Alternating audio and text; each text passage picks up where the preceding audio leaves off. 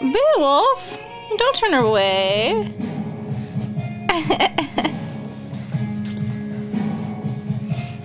Sweetie pie.